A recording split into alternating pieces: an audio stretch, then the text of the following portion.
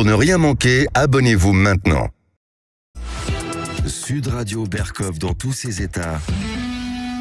Le face-à-face. Le face-à-face d'André Berkoff avec Juan Branco, avocat et docteur en droit pour son livre Coup d'État, manuel insurrectionnel, édité chez Au Diable Vauvert. Bonjour Juan Branco. Bonjour. Alors Juan Branco, vous au moins, euh, vous ne mettez pas votre langue dans votre poche, c'est pas nouveau. Hein, ça fait quelques livres. On vous a reçu d'ailleurs déjà pour, euh, je crois que c'était Lutte ou euh, non, c'était abattre l'ennemi. Effectivement, vous avez reçu. Et vous reparlez de crépuscule, abattre l'ennemi, et aujourd'hui coup d'État, manuel insurrectionnel.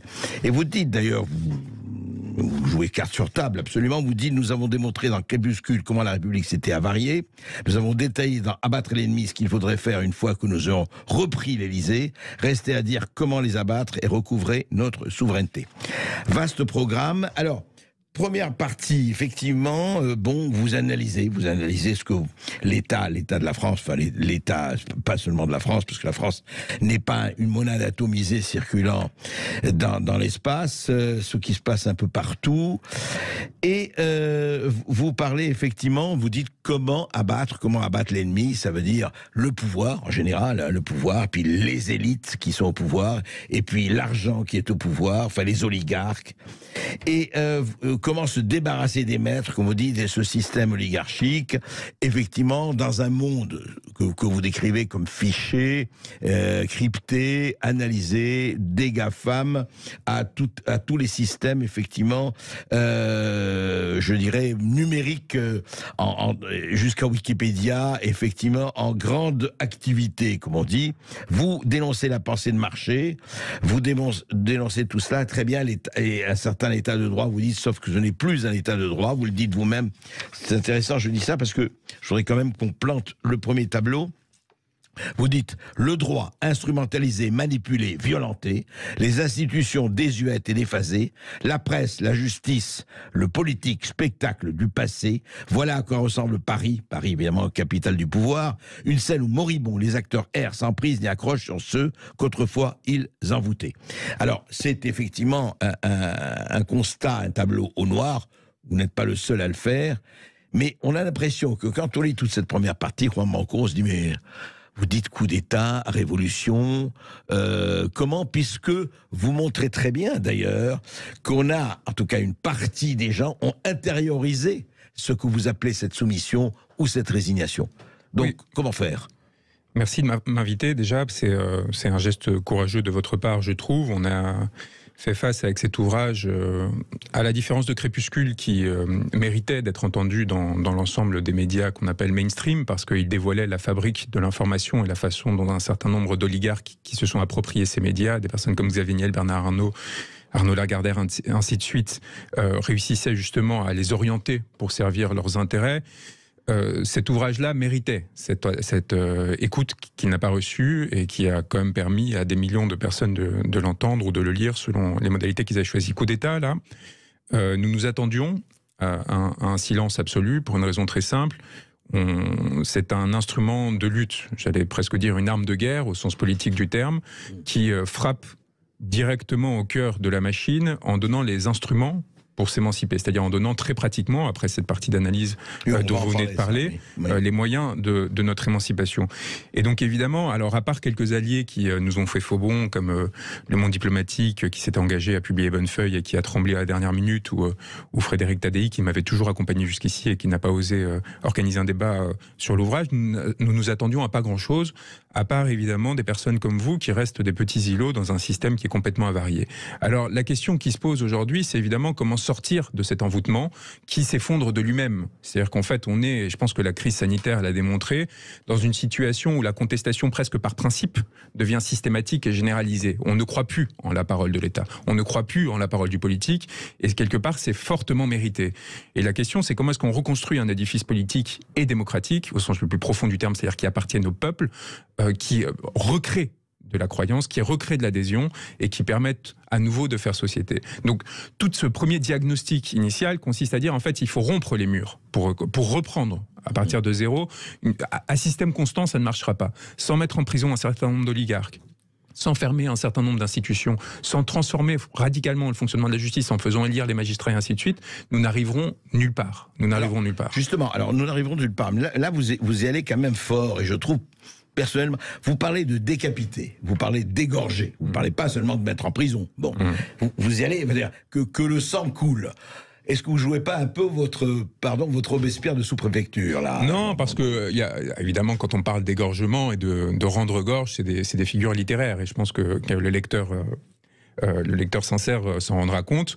Par contre, euh, la question de mettre en prison un certain nombre de personnes et de transformer notre droit pénal pour qu'il soit au service du peuple et contre un certain nombre d'élites dépravées, je pense que ça a du sens, un sens fondamental. J'analyse, par exemple, d'un point de vue théorique, la disparition de la peine de mort, la, suppression de la peine de mort, comme étant en fait le fruit d'une crainte qui pesait sur un certain, petit pari que je décris depuis la Révolution française. Cette inquiétude qu'à nouveau cet outil qui est le seul en fait à potentiellement rompre leur impunité s'applique à nouveau à eux. La peine de mort a été justement abolie à mon sens en France parce qu'elle n'avait fini que par s'appliquer sur les populations. Voyez? Juan Branco, alors c'est intéressant parce que effectivement vous avez un raisonnement. Encore une fois, il y a des choses que je partage, des choses que je ne partage pas du tout. Mais vive la discussion et vive le débat. En fait, très bien, la révolution, on sait ce que ça a amené. Mais enfin, est-ce que vous êtes le, réta- le- le- on rétablit la guillotine, on fait comme euh, euh, Moi, la je préfère- qui a décoré ses propres enfants, euh, Moi- les, les maras, les Saint-Just, les, les... Moi, moi, je préfère les îles Kerguelen. Vous voyez, c'est ces îles qu'on a près de l'Antarctique euh, qui pourraient servir de, C'est bagne pour, euh, voilà pour euh, pour euh, pour nos, nos, nos délicieuses élites qui aujourd'hui euh, Ouais. se faisandent dans les hôtels particuliers de la République euh, dont elles se sont appropriées. Je considère qu'en effet la, la répression à nouveau doit doit basculer. euh, d'une répression injuste. Vous voyez, je- vous, vous le savez, je suis l'avocat, par exemple, de, de cette euh, femme, cette citoyenne française, qui a été arrêtée et détenue euh, pour avoir traité d'ordure euh, Monsieur Macron. mise en examen, renvoyée. elle a été renvoyée en procès ouais, donc, oui. au 20 juin et j'espère que vous serez nombreux à Saint-Omer pour, pour nous accompagner. Combien de pays au monde enferment des personnes parce qu'elles ont qualifié un président de la République d'ordure. Vous voyez, donc cette réorientation de l'appareil répressif et judiciaire qui s'occupe enfin et à nouveau des affaires de corruption, de la dépravation de nos dirigeants, elle me semble essentielle pour à nouveau on parle de retrouver notre souveraineté, mais notre souveraineté, en fait, elle est atteinte par quoi? Elle est atteinte avant tout par le pillage, pillage qui lui-même est le fruit de l'impunité. Impunité qui est- repose sur plusieurs pieds, euh, un appareil judiciaire euh, qui est évidemment euh, à la solde du pouvoir, un, a- un- un appareil médiatique que j'ai décrit dans Crépuscule, dont on voit en fait comment il oriente les débats, les discussions, les indignations, de façon à s'assurer que la colère soit toujours du peuple contre le peuple et non pas du peuple contre ses dirigeants. Et donc, en fait, on propose une architecture qui Alors- recompose tout ça. Alors justement, euh, là-dessus, j'ai lu, euh, la- j'ai lu votre livre et la première partie de votre livre qui analyse tout ça. Mais dès le départ, il y a quand même une contradiction et j'aimerais que, que vous en parliez. Vous dites que effectivement, la chose la plus essentielle au départ, c'est la fin d'un modèle de production fondé sur les énergies fossiles, amène à une nouvelle répartition des c'est le début de votre livre, hein, tout le tout début. Effectivement, il y a l'énergie fossile et, et, et le nucléaire, et maintenant on veut les énergies renouvelables, etc. Mais vous voyez bien, et c'est là, c'est intéressant la- la- la- les contradictions, parce qu'elles s'exercent aussi au sein des élites, et pas seulement françaises, mais mondiales.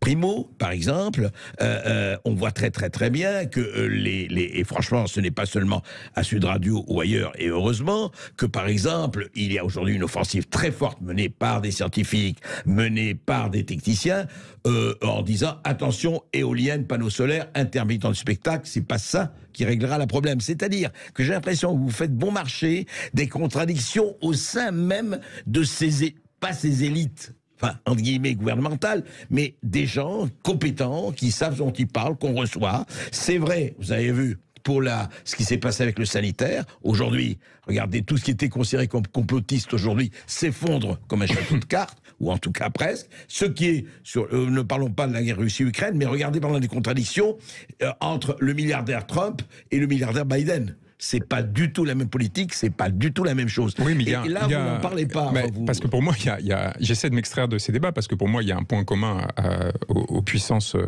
oligarchiques, aux, aux personnes qui, euh, Ouais. qui, euh, qui ont des, des grandes ressources et qui cherchent l'accaparement de ces ressources de façon massive, c'est que ces ressources dépendent toujours de l'exploitation des populations, systématiquement. Et donc pour moi, que ce soit la taxe carburant qui a déclenché le mouvement des Gilets jaunes ou aujourd'hui la réforme des retraites, c'est la même chose. C'est-à-dire que le seul objectif, c'est de accroître la pression sur les populations pour débloquer des ressources qui pourront être redistribuées par à travers l'État. Et en fait, l'État joue un rôle de redistributeur. L'État concentre les ressources à travers les taxes et les impôts. Donc, elle capte des ressources sur l'ensemble du territoire, chez les travailleurs euh, français et, euh, et à l'étranger dans les autres États. Et ensuite, elle va redistribuer selon des choix qui sont censés être politiques. C'est-à-dire que théoriquement, ces ressources-là, elles vont être distribuées selon des priorités Oui. que l'on va se choisir à travers l'élection. On Oui. va décider plutôt qu'on soit d'un camp de l'autre, de plutôt investir dans l'écologie, dans l'énergie, dans la sécurité, etc. Sauf que, en fait, évidemment, vous imaginez bien que lorsque vous avez tant d'argent qui se concentre entre si peu de mains, la- la- l'avarice, l'envie, la volonté de contrôler ce canal est extraordinaire parce qu'en fait c'est la meilleure façon de devenir extraordinairement riche. Aujourd'hui, la plupart de nos milliardaires, ce sont des personnes qui se sont appuyées sur l'État pour devenir milliardaires. Bernard Arnault, à tous, travers mais- Boussac, Oui, oui, euh, qui, avait été nationalisé par l'État et qu'il a récupéré à vil Et prix. vous en avez parlé dans. Xavier dans- Niel, Bouygues, etc., à travers les licences téléphoniques, c'est-à-dire qu'en fait l'État leur accorde un droit d'accès à un marché qui est fermé, Bah, où il n'y a que les quatre acteurs. Les autoroutes. Des autoroutes, Vinci, oui, mais là c'est plus distribué parce que Vinci, c'est beaucoup d'actionnaires, par exemple. Eiffage, Vinci, etc. C'est une partie plus large. Là, par, par contre, des gens comme Bouygues, comme Niel, etc., c'est des gens qui, sont, qui ont un capital important de leur entreprise et qui sont devenus subitement milliardaires à- dans des proportions extravagantes sur une décision de l'État. Donc réussir à avoir de l'influence au sein de nos- auprès de nos politiciens, c'est se garantir l'accès à des ressources extraordinaires. Et donc, dans un c'est le capitalisme de connivence. voilà. Et donc, Bien sûr, dans ces mais- circonstances-là, Oui, oui. euh, la transition énergétique, c'est une raison nouvelle de capter des ressources, c'est-à-dire que l'État va dire il nous faut assurer cette transition, donc il nous faut accroître la pression fiscale sur les populations. Et là-dedans, en fait, les entrepreneurs, les personnes qui seront le plus proches du pouvoir seront celles qui récupéreront une plus grande Le partie plus. du magot. Mais Juan Branco, justement, alors, euh, et là vous allez me dire c'est l'aliénation qui joue, mais pendant moi je suis frappé, vous parlez beaucoup, et vous avez raison, et on en a parlé ici. Par exemple, on ne voit pas, euh, pour avoir euh, d'ailleurs les portables, les voitures électriques et le tout électrique, on fait des cancer cities en Chine, on sait qu'il y a des millions, milliers d'enfants en tout cas qui meurent de leucémie, au Congo, hein, on va extraire le cobalt, le fameux cobalt dont on a besoin, enfin les terres rares, etc. On sait comment c'est exploité là-bas, vous en parlez, et on en a parlé aussi. Simplement, vous avez toute une partie de la population écologiste ou écologiste politique ou autre qui semble, et justement c'est pour ça que c'est- n'y a pas que ceux qui drainent l'argent, il y a une partie de la population qui dit bon oui mais ça, attendez, ce qui est important c'est voilà le- la dépollution, la fin du CO2, etc., ce qui ne veut rien dire, et le reste qui se passe au Congo et ailleurs, on sait pas qu'on s'en fout, mais bon ben, c'est loin. Oui, mais écoutez, ça, ça. c'est la- c'est la- c'est c'est toujours le débat sur la- le rapport à la violence. Vous voyez, en fait, tant que la violence vous est invisible ou est invisibilisée, vous n'allez pas vous sentir responsable. Euh, quand vous avez des millions d'animaux qui, euh, qui sont euh, sacrifiés dans les abattoirs tous les jours, vous, vous ne le voyez pas. Et tout est fait pour que vous ne le voyez pas. C'est pour ça que je trouve ça intéressant qu'on soit d'accord ou pas avec leur lutte sur ce que font un certain nombre de collectifs qui mettent des caméras dans les abattoirs, etc. Et donc, quand vous mangez votre steak, vous n'avez pas conscience que vous êtes en train, vous avez tué, vous avez fait tuer plutôt un animal pour pouvoir le manger. Et donc ça, en fait, vous pouvez le déployer Enfin, sur toutes les le- questions. On avait le steak. Sur- moi, non, mais- moi, je mange de la viande et ça, je sais qu'on tue un animal. Non, mais vous y pas- pensez pas à chaque fois que vous, vous mangez, Non, vous voyez. non, Enfin, et vous l'avez pas fait vous-même, vous l'avez pas vu mourir. euh, Bien la- sûr, la- et peut-être que si vous le voyez, ça changerait. Et d'ailleurs, on avait des, des si, on avait des modes de consommation beaucoup plus raisonnables il y a deux siècles, où vous aviez le cochon que vous alliez exploiter jusqu'au dernier moment, c'est-à-dire la moindre trace viande, hein, pour manger. mangeait. Mais vous en mangez, mais vous mangez votre viande et vous alliez du coup avoir un- une consommation plus raisonnable. Non, mais encore une fois, moi je suis pas particulièrement vegan ou quoi que ce soit, mais c'est exactement la même chose. Je vous, c'est exactement la même chose, par exemple, avec Olivier Dussopt. Dussopt, sur la- le débat qu'on a eu sur la question, euh, un député qui l'avait traité d'assassin, qui n'a pas eu le courage de tenir sa, sa- sa position, il a raison. Quand vous créez de la violence sociale, vous accroissez de la violence sociale en faisant, en signant un document dans votre ministère, sous les dorures, etc. Vous, vous êtes un homme très pacifique. Vous êtes un homme très pacifique, euh, vous ne faites de mal à personne, vous respectez, vous êtes très courtois vis-à-vis des êtres, sauf que des millions de personnes derrière vous vont voir leur quotidien, euh, la qualité de leur vie au quotidien décroître, ils vont voir leur souffrance accroître et donc les violences se propager. Donc vous êtes facteur de violence. Donc à un moment donné, la question de savoir, de percevoir la violence, de la rendre perceptible. Et après, quand on va, on va me répondre, ah oui, mais envoyer les gens au Kerguelen, envoyer Olivier Dussopt au Kerguelen, ce serait vraiment très violent. Il faut le mettre toujours en proportion par rapport à, à la violence que ces gens ou que ces systèmes génèrent. Et donc sur la question évidemment de la voiture électrique, c'est sûr que quand vous avez des publicités à pas savoir quoi en faire sur la euh, voiture électrique qui vous montrent quelque chose sans émission, etc., la pollution dans votre environnement proche, en effet, est réduite. Et donc, vous avez une impression intuitive, naturelle. C'est difficile d'échapper à son intuition et, à, et à, son, à sa perception du sensible immédiate. Vous dites, je suis en train de faire quelque chose de bien. Et en effet, la mine de cobalt, elle n'est ni visible, ni tangible, ni accessible. Et quelque part, tant mieux si nous commençons à avoir des mines de lithium à nouveau en France, parce que ça va nous permettre de voir la dévastation que cette transition énergétique que l'on loue de tant de façons Mais va que- produire. oui, alors je comprends, mais euh, le problème, et on va parler de la seconde partie, parce que la seconde partie, elle est. Moi, j'ai l'impression, est-ce que. Je vais vous poser une question personnelle. Est-ce que, euh, et, et qui est tout à fait légitime, enfin, votre position euh, peut être tout à fait légitime, est-ce que, quand même, Juan Manco, hein, tout ça, et on a dû vous poser, sans faire de psychanalyse d'école primaire, est-ce que vous ne vengez pas un tout petit peu votre enfance bourgeoise, diplômée, surdiplômée, dans le milieu On sait très bien là où vous avez Ouais, été. Et vous dites, attendez, c'est pas une vengeance d'ailleurs. J'ai- je me suis mal exprimé. C'est en, en fait. Est-ce que le, le, le révolutionnaire que vous êtes, il faut le dire, enfin l'homme qui a envie de renverser le système, et après tout, c'est légitime. Vous avez tout à fait ce droit. Heureusement, on est encore euh, en, en liberté. À voir, à Hein voir, à voir. Mais bon. non, mais enfin, pour le moment, on, on peut s'exprimer. Euh, euh, simplement, est-ce qu'il n'y a pas quand même la tentation, et c'est ce que j'ai éprouvé dans votre livre, qui à la fois est bien écrit et est intéressant, et en même temps vous chosifiez. Quand vous dites le peuple, vous savez très bien qu'il y a, hélas, je, moi aussi je suis pour le, mais il y a des peuples, et il y a des peuples aux intérêts divergents. Bien sûr qu'il y a les oligarques, bien sûr qu'il y a cela, bien sûr qu'il y a le sablier, mais il y a des peuples très divergents. Mais pardonnez-moi d'être un vrai démocrate et de prendre au mot ceux qui prétendent que le pouvoir devrait être au peuple et que les représentants dont on parle devraient être représentants et non pas accaparants. Moi, je parle du monde que je connais. C'est-à-dire, moi, je pars de ce petit euh, Paris euh, que j'ai oui. si grandi, dans lequel j'ai grandi, que j'ai si euh, fréquenté et dont je vois la vanille absolue et l'absence de qualité qui justifie les privilèges et le- les accaparements auxquels ils se vouent. Et je vois aussi surtout de façon systématique comment, enfin plutôt comment ce système produit de l'avidité, produit de la laideur, y compris en ces mondes. Et donc je considère que pour eux-mêmes, il serait bon de le renverser. Il serait bon de passer en fait à une bascule qui permettrait au peuple, en effet, de se responsabiliser et donc de s'unifier. Parce que si vous redonnez au peuple la, possibilité de prendre des décisions, de retrouver une partie de sa souveraineté, il va chercher de la cohésion.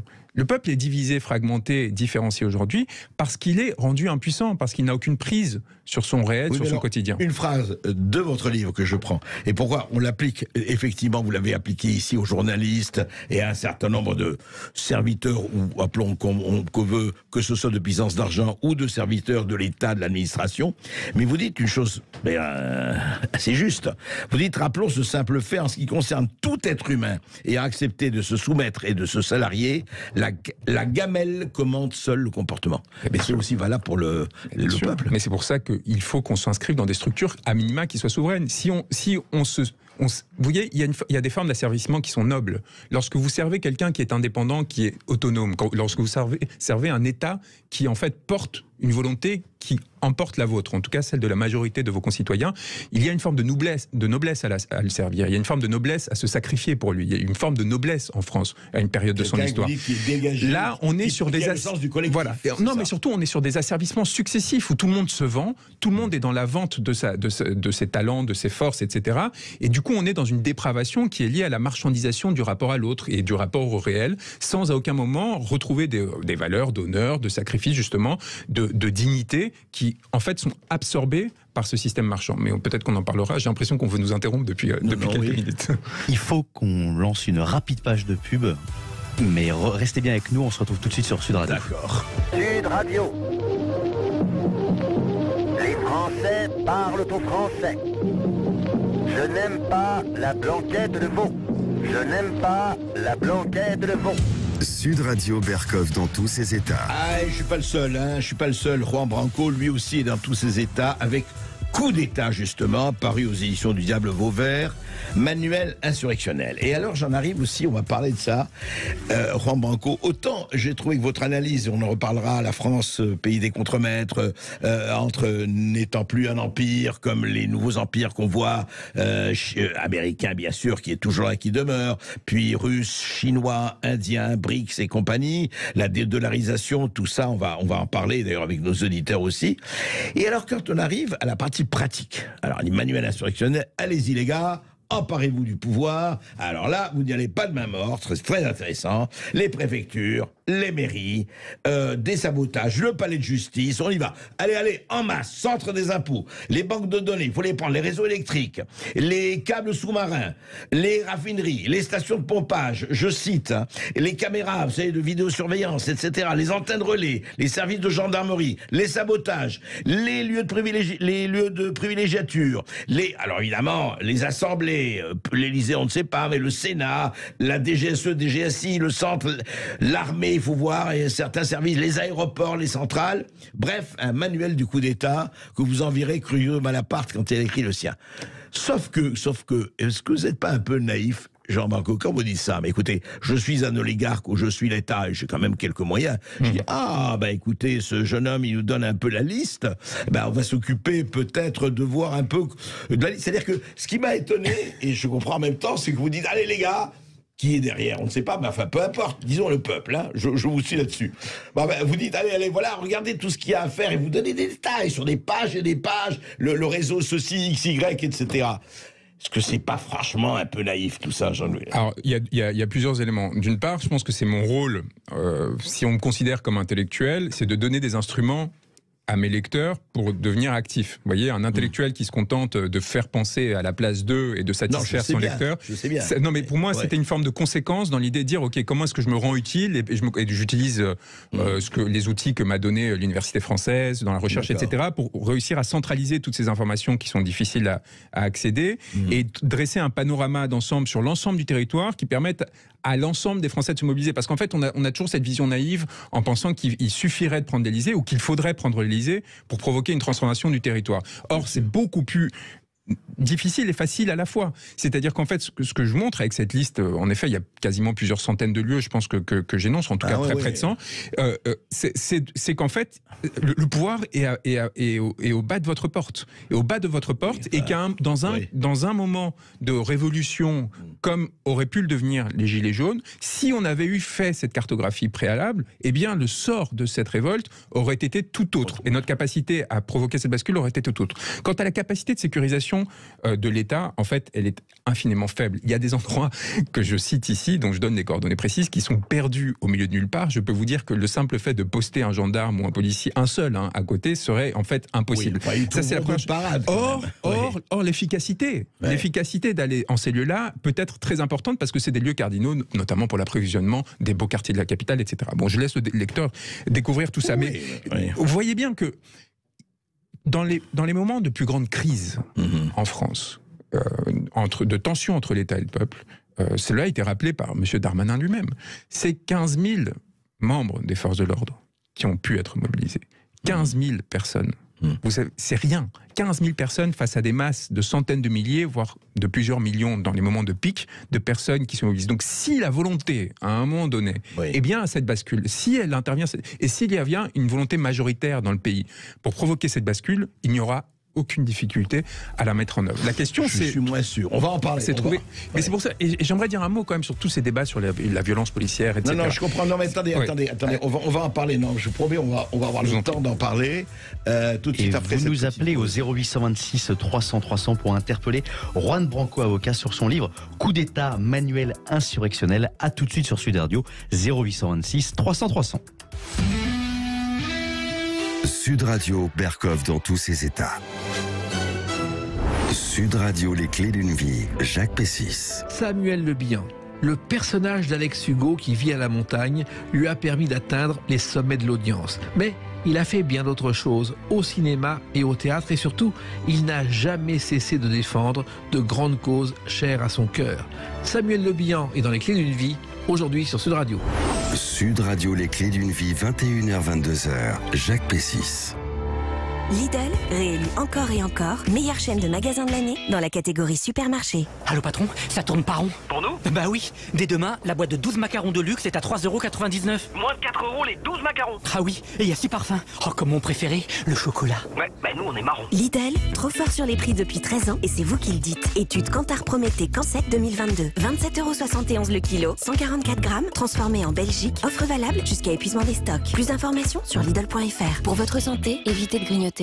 Il y a l'énergie que l'on aime dépenser sans compter et l'énergie que l'on aimerait bien économiser. Grâce à Helio, concrétiser votre projet de rénovation énergétique est un jeu d'enfant. Isolation, changement de chaudière, des travaux ou démarches administratives, Helio vous accompagne dans toutes les étapes de votre projet et vous avance même le montant des aides auxquelles vous avez droit. Pour en savoir plus, rendez-vous sur helio.com. Mano Mano. Pour les pros, le bon réflexe pour vos travaux, c'est Mano Mano Pro. Parce que quand on est pro, on aimerait faire autre chose que parcourir les rayons pour trouver son matériel. Sur Mano Mano Pro, c'est toute une équipe d'experts disponibles 7 jours sur 7. Ça, c'est du travail de pro. Rendez-vous en ligne ou sur l'appli Mano Mano Pro. Mano Mano. Mano Mano Pro, on bosse pour vous. Sud Radio Menton. 97.9. Sud Radio. Eh, on commande à manger? Bof, si c'est pour dépenser une fortune. Mais non, les mardis et jeudis chez Domino's, toutes les pizzas medium sont toujours à 7,99€. Toujours à 7,99€ Oui, t'as bien entendu. Toujours à 7,99€. C'est les mardis et jeudis fous. Prix conseillé à emporter hors supplément. Conditions et magasins participants sur dominos.fr. Pour votre santé, évitez de grignoter. Impact à réparer Un pare-brise à remplacer Prenez rendez-vous en 3 minutes sur carglass.fr. Et en ce moment, pour toute réparation d'impact ou remplacement de pare-brise, Carglass vous offre 60 euros sur une sélection de produits Karcher. Oui, 60 euros offerts. Nettoyeur de pression, lave-vitre, aspirateur, nettoyeur vapeur, c'est vous qui choisissez. Avec 60 euros offerts, il y a même des produits qui ne vous coûtent rien. Alors prenez vite rendez-vous sur carglass.fr, c'est jusqu'au 7 avril. Faut pas rater ça. Carglass répare, Carglass remplace. Voir conditions sur carglass.fr. La Maison Thierry présente sa définition du bonheur. Le bonheur, c'est de dévorer une délicieuse brioche aux pralines roses les yeux fermés, sans avoir à se demander où elle a été fabriquée.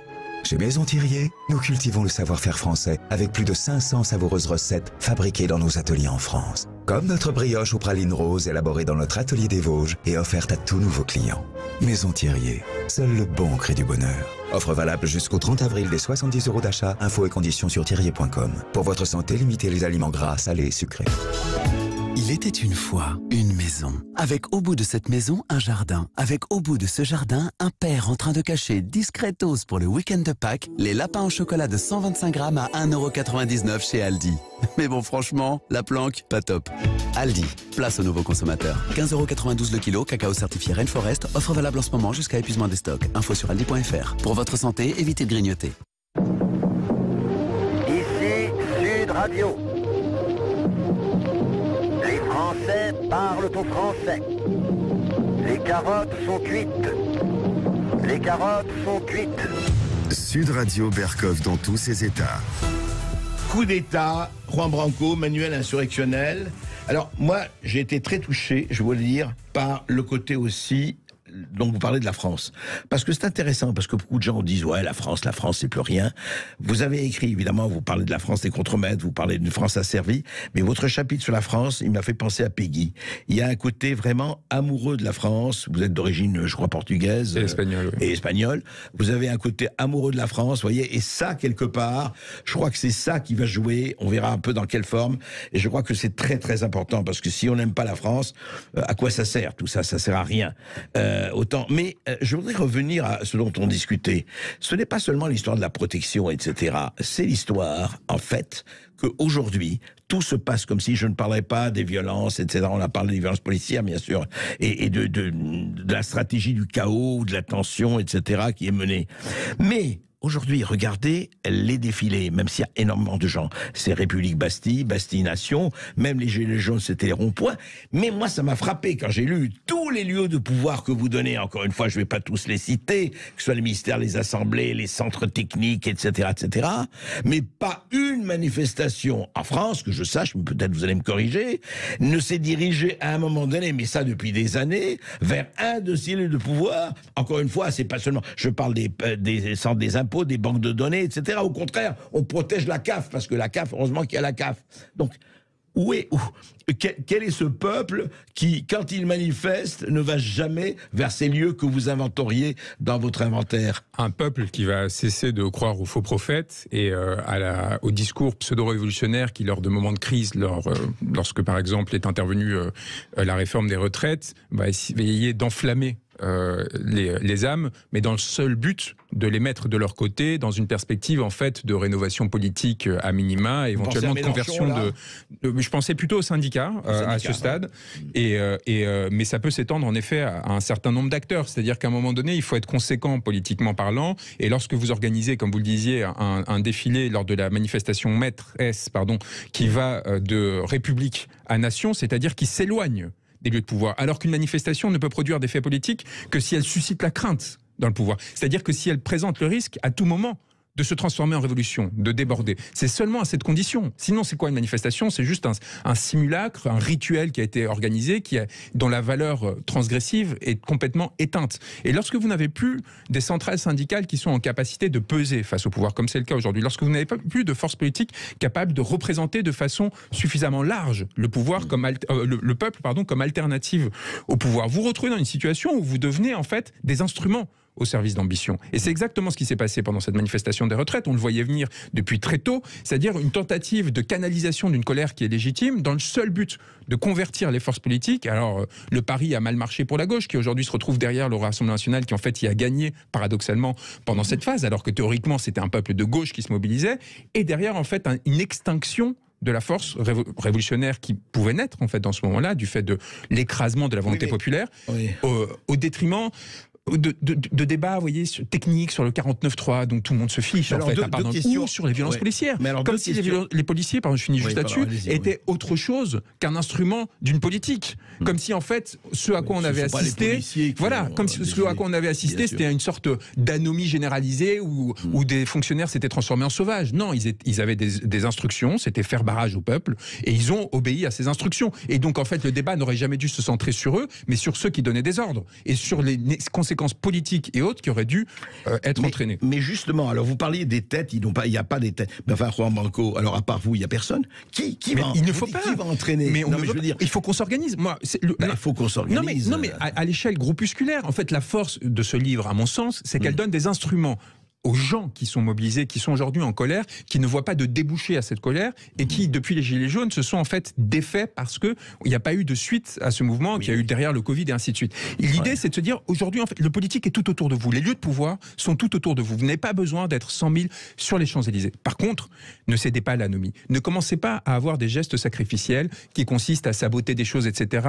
en dehors de mouvements organisés, massifs, et dont vous êtes sûr qu'ils représentent la volonté populaire. Sinon, un, vous allez en prison pour rien. Moi, j'ai sorti des gamins de 18 ans de, de- de détention parce qu'ils avaient envoyé un pavé pendant la manifestation des retraites. J'étais peiné parce que je savais que ce geste avait été complètement inutile et que toute leur vie, toute leur vie, ils allaient porter le poids de ce geste au- euh, parce qu'ils avaient été abandonnés par la collectivité. Mais justement, mais alors, alors juste euh, avant de donner la parole à nos auditeurs, on, on pourrait en parler pendant des heures parce que c'est une, une vraie question, une vraie problématique.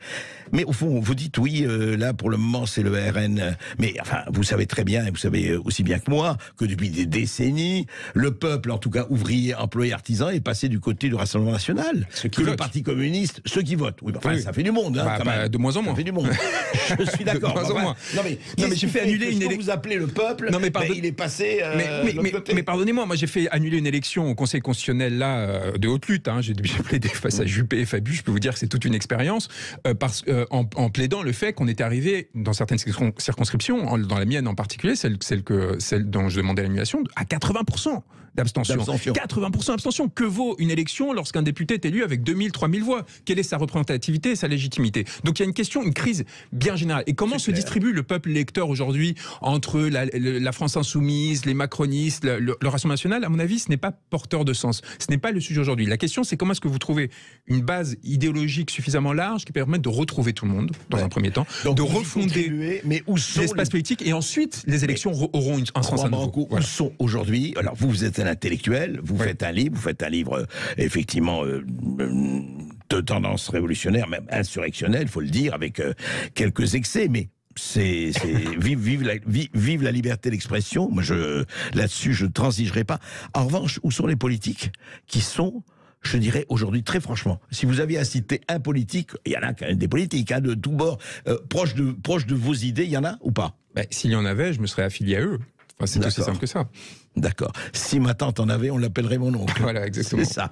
Nos auditeurs, Lucien. Oui, vous avez la parole sur Sud Radio 0826 300 300 et on accueille Chantal de Bastia. Bonjour Chantal. Bonjour Chantal. Bonjour André, bonjour Monsieur Juan Branco.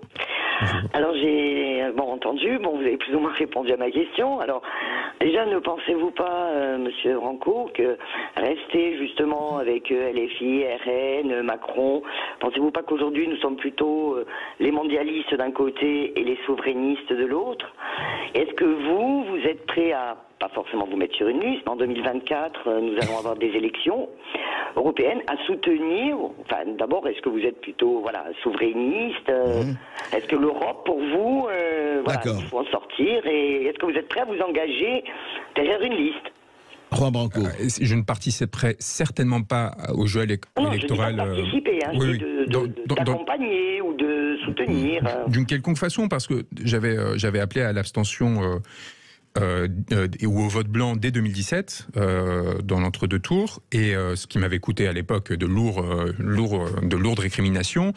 J'ai maintenu une position constante à cet égard, et je considère qu'aujourd'hui, en fait, ne serait-ce que leur donner un vote, c'est leur donner en fait une, un- une once de légitimation potentielle qui va nous inhiber dans notre capacité à agir par la suite. Moi, mon objectif, et je vais vous répondre à la deuxième question très rapidement euh, ensuite.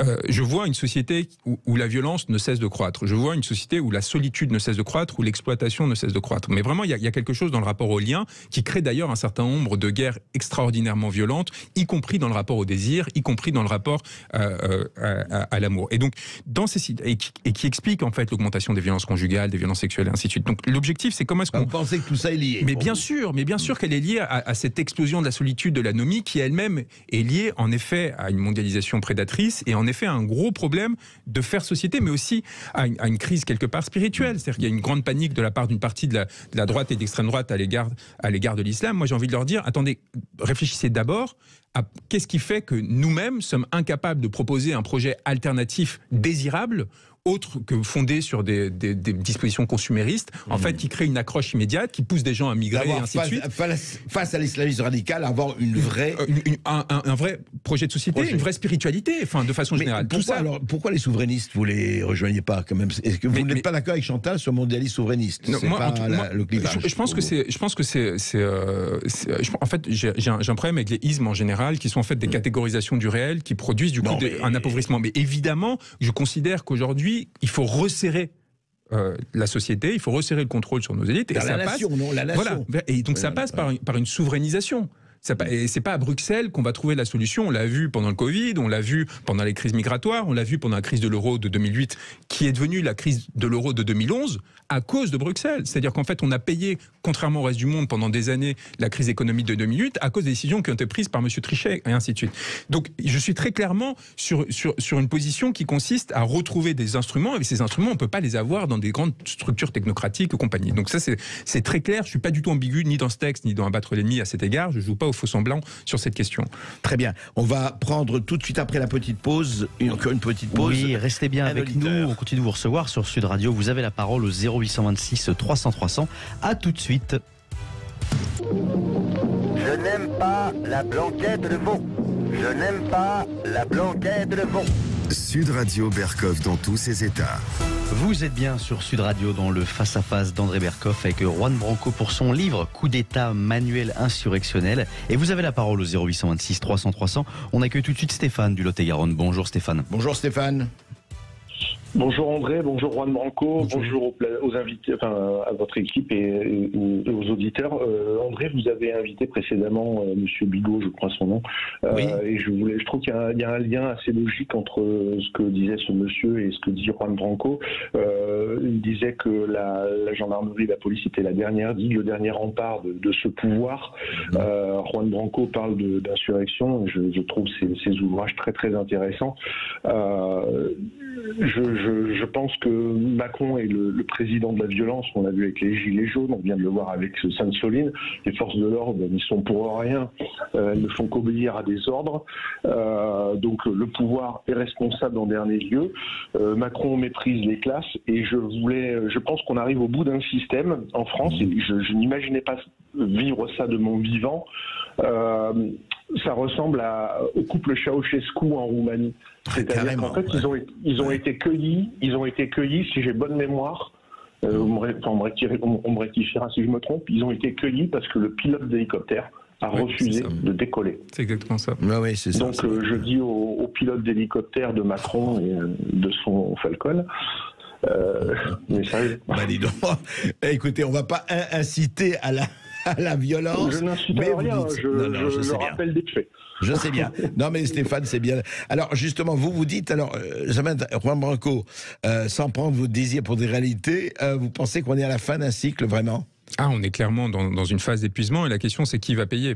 Est-ce que c'est le peuple ou est-ce que c'est ceux qui se sont gavés pendant, pendant des années ou des décennies En sachant que nous-mêmes, il faut, il faut garder cette modestie. Vous parlez à chaque fois, est-ce que le peuple est bon ou pas bon? Enfin, vous me posiez cette Non, question. parce que le peuple n'est Oui. pas divisé, etc. Non, mais il faut, il faut, c'est vrai qu'il faut prendre en compte qu'en en tant que peuple, nous nous sommes aussi relativement à d'autres peuples et d'autres territoires gavés pendant cette phase-là. C'est-à-dire que nous avons, nous, chacun d'entre nous, un certain nombre d'esclaves qui nous fabriquent un certain nombre d'objets du quotidien, de, de, de, de téléphones, d'habits et ainsi de suite. Et donc, ça aussi, il faut le prendre en compte au moment de vouloir faire la révolution, c'est-à-dire qu'on est encore en position de pouvoir et d'exploitation, y compris lorsque l'on est les plus misérables de. Sauf que cette société produit de plus en plus massivement, quand je parlais de solitude et ainsi de suite, des- de- il y a des millions de personnes aujourd'hui qui sont en France défonctionnalisées. C'est-à-dire auquel- à qui on ne donne aucun rôle au sein de ces sociétés. Et ça, c'est où- pire. Dire, ils savent plus où ils habitent. Et, et c'est ça, c'est pire que d'être l'esclave de quelqu'un. C'est-à-dire qu'on on vous fait sentir, et c'est pour ça que je pense que les termes de, de M. Macron étaient plus réfléchis et plus pensés qu'on pourrait le penser,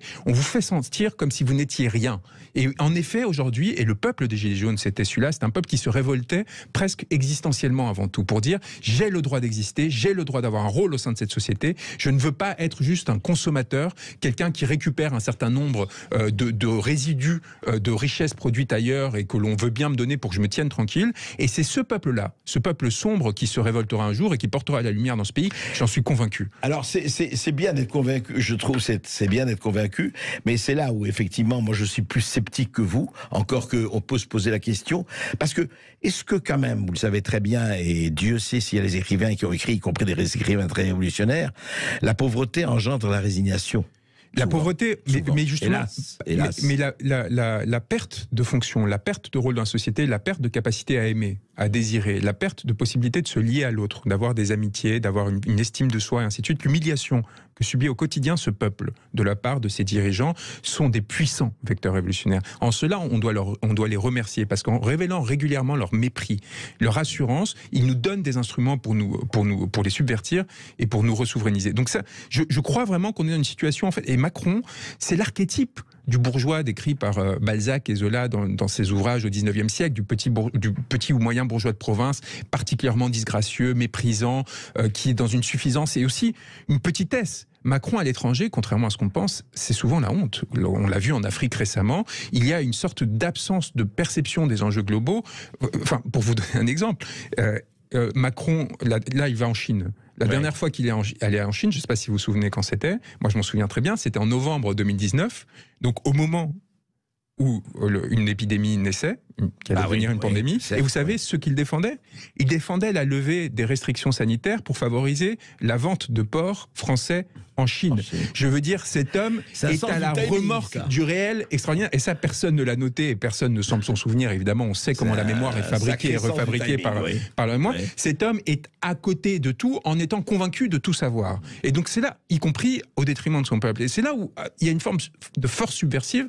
Le deuxième élément, à mon avis, de cette force subversive, on a inventé Macron à marche forcée à partir de 2016 parce que toutes les, candidats euh, légitimes entre guillemets du système s'effondraient les uns après les autres. Euh, Sarkozy, Fillon, euh, on a effondré. Fillon. On Voilà. a effondré Fillon. Oui, oui. ils, chutaient les uns après les autres, et donc il a fallu, en fait, à marche forcée. Aujourd'hui, c'est devenu de- difficile d'inventer de nouvelles figures comme on l'a fait avec Emmanuel Macron, surtout parce qu'on est devenu plus attentif, parce qu'en fait, notamment euh, via des ouvrages comme Crépuscule et compagnie, on a démontré comment la machine pouvait se mettre en branle pour nous vendre un espoir. Alors ils essaient de le faire, c'est assez pitoyable. Un jour c'est Edouard Philippe, l'autre c'est Gabriel Attal, l'autre encore c'est Gérald Darmanin. Vous voyez, ils tournent comme ça le tourniquet. Marlène Schiappa. Dans, voilà, peut-être demain Marlène Schiappa. Ils essayent de tester des trucs dans l'hypothèse parce qu'ils voient bien que, que, la chose commence à s'épuiser, que leur monopole sur le politique et donc sur la distribution de ressources commence à se fragiliser. Donc ils essayent de voir qu'est-ce qui pourrait éventuellement nous accrocher. Il faut résister à ça. Il faut résister à cette croyance. Il faut commencer à s'organiser. Et vous me disiez, qu'est-ce qu'il y a par vous? Il n'y a pas. Il faut justement qu'il n'y ait personne, qu'il n'y ait de dépendance vis-à-vis de personne, parce que l'enjeu c'est ne plus, c'est pas d'avoir un grand leader. Mais il faut, il faut des instruments. Non, mais il faut aussi une incarnation. Il faut des instruments qui permettent de créer l'alternative. Vous ne n'éviterez pas l'incarnation. Je vous promets que si vous donnez les instruments à ce peuple, comme à l'époque des Gilets jaunes, ce peuple se reconnaîtra lui-même.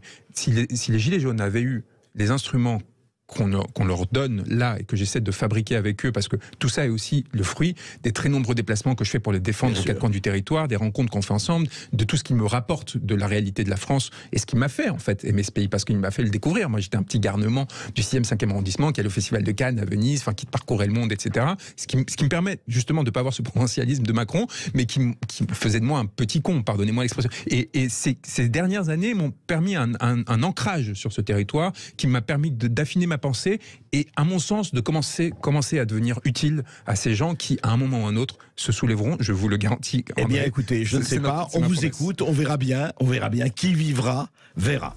Merci beaucoup, chers auditeurs, d'être toujours aussi nombreux à nous écouter. Et merci à Juan Branco, avocat, pour son livre Coup d'État, manuel insurrectionnel, édité chez Au Diable Vauvert. Tout de suite, l'émission de Brigitte Lay. À tout de suite sur Sud Radio.